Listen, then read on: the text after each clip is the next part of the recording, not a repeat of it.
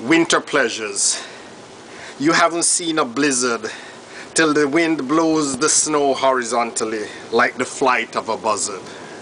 And when the wind shear shows that the storm is near and out of fear, you grab what you can and take flight if you are able to brave the elements with warmth from a sable.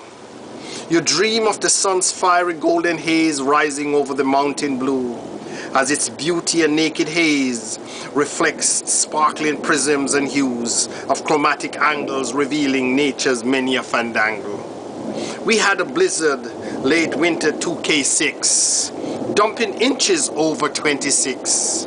Yet again we prevailed as we sailed along, singing a winter song. It was gone before too long, as now we anticipate an early spring well, according to Punxsutawney Phil. And as the cycle goes on, we know it'll be summer before too long. Winter pleasures.